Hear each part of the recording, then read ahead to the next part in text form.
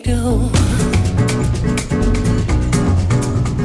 This week, fashion is the word here in New York City. The world's best designers are here in the Big Apple to tell us the do's and don'ts for spring. But tonight, it's the turn of the up and coming designer. They've taken over the famous Brooklyn Bridge for a special one off catwalk show. Let's see how the preparations are going.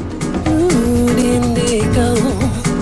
So this is the room where it's all happening. Let's see who we can find in here. Oh, we've got Bob from Brooklyn Royalty. Tell us a bit about the show and how important it is for you. Oh, um, well, this show is an amazing, like, historical moment for me because my line's called Brooklyn Royalty. So, of course, like, only in my wildest dreams have I thought about actually having a Brooklyn Bridge show, you know? So, it, this is crazy. Like, Yeah, it's going perfect for your line, isn't it? Yeah. Tell us about, about your model and what's going on. Okay, well, this is my model Ciara, and she is having her makeup done to match an outfit that features a white moto pant and then a color change garment that changes from a magenta to a blue.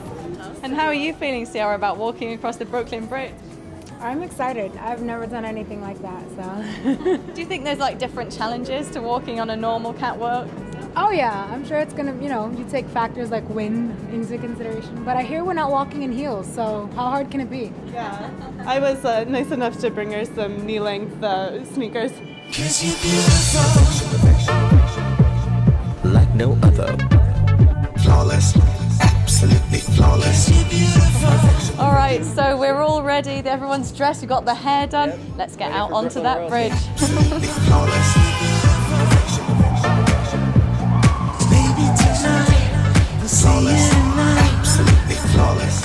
The preparation and it's all about to start. This bridge is usually reserved for people walking home, people running and jogging, but tonight it could be the birthplace of the next Alexander McQueen. You got to go to the city.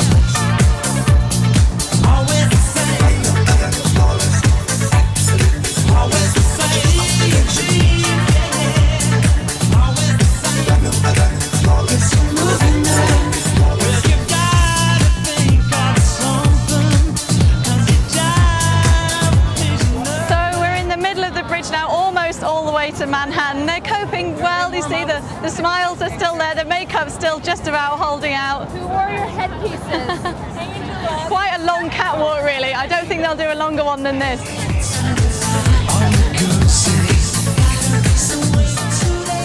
The biggest things in fashion is to get noticed, and the designers here certainly are doing that. Can I ask you what you thought of the outfits? You're just taking some pictures of Oh, them. I love them. I think they're all beautiful. They're great, and the colors are good. I'm very surprised.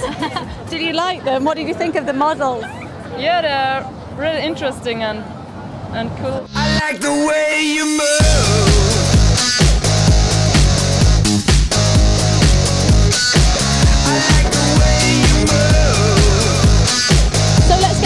from the designers. We've got Bob here with her two models. How did it go?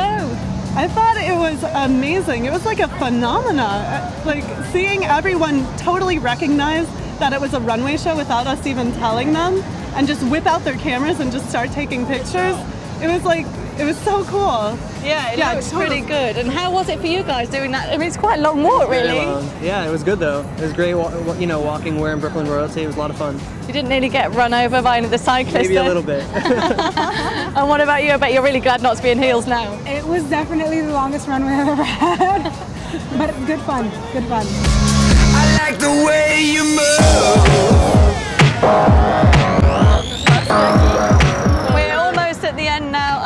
That one group of people that'll be glad that are finished are the cyclists trying to make their way home. They've been battling their way through for the last couple of hours. For the designers, though, it's time for them to go back home and wait for that phone to ring to see just how successful they've been tonight.